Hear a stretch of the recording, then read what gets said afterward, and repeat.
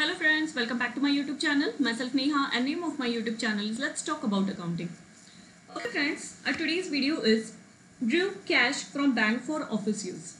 Okay friends, so you're withdrawing the cash from your bank account for using it in your office. Okay, you're using that cash or you will be using that cash for your daily expenses which are related only for your office. Okay friends, now let's see how you have to make the accounting entry. First of all, go to accounting voucher. Okay, so though you are withdrawing the cash from your bank account, okay, you will be receiving the cash. Okay, the hard cash will get converted into liquid cash as there will be cash in hand balance. Okay, but you have to pass the contra entry only. Whenever the cash and bank transactions are coming into focus, then the entry will be made only and only by contra voucher.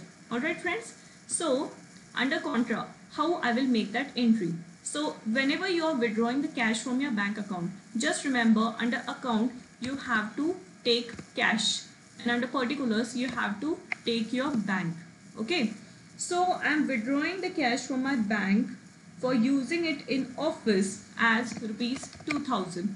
Okay. Now you can see over here I'm having a cash balance of 3000. I'm having a balance of bank as 7000 when I will make the entry of this 2000 okay?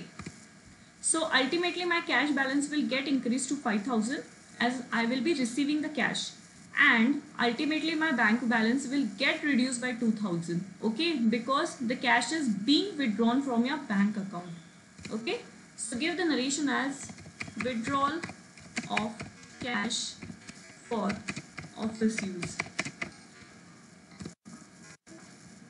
Okay friends, now let's see that how this transaction will get reflected in your books of accounts. Okay, so the cash as well as bank, both the balances are in your current assets. Okay, now let's go to balance sheet, go to current assets.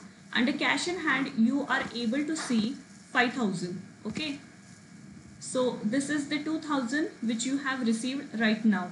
Okay, and under current asset go to bank account and you will be able to see that this 2000 okay this 2000 is being withdrawn from bank and the balance of bank is getting reduced to 5000 okay so in this way we have to make the accounting entry when you are withdrawing the cash from bank for office use I hope this concept must be cleared. If you have liked my video or you have understood the concept of this video, then do subscribe my YouTube channel. Keep supporting. Thank you.